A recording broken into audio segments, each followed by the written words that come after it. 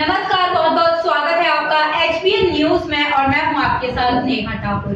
भोपा थाना क्षेत्र के बाखर नगर गाँव में छप्पर में आग लगने से छप्पर में बधी गाय की मौके पर दर्दनाक मौत हो गई। हरि सिंह पुत्र धर्मपाल ने बताया कि जब छप्पर में आग लगी, तब घर पर परिवार और आसपास के लोग खेत में काम करने गए थे, जिससे आग ने विकराल रूप ले लिया। छप्पर में रखा सारा सामान और गाय सहित सब कुछ जल कर राख हो गया। हरि सिंह का परिवार बहुत ही गरीब परिवार है वो अपने परिवार का पालन पोषण खेत पर मजदूरी करके करते थे। भोपा से राहुल कुमार प्रजापति की रिपोर्ट।